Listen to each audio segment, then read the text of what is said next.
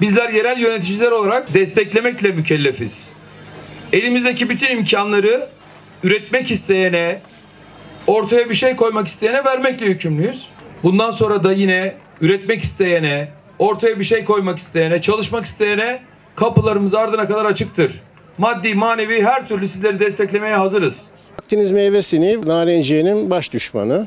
Onun için bayağı bir problemlerimiz var. Halen devam ediyor. İlaç kullanmak istemiyoruz. Organik yapıyorum yıllardır. Aşağı yukarı 25 senedir bu bahçedeyim ben. Akdeniz meyve sineği kapanını e, daha evvelden kendi paramla alıp kullanıyordum. Fakat fiyatlar inanılmaz yükseldiği için artık onu alamaz olduk. Büyükşehir'in böyle bir şeyi başlatması çok güzel bizim için. Büyükşehir'e bu arada çok teşekkür ediyoruz. Her sene yaşadığımız bu Akdeniz meyve sineğiyle ilgili çok büyük sıkıntılarımız da var. Muğla Büyükşehir Belediyesi bizlere bunları getirdi. Bunlar çok iyi. En azından zehirli ilaçlar kullanmıyoruz.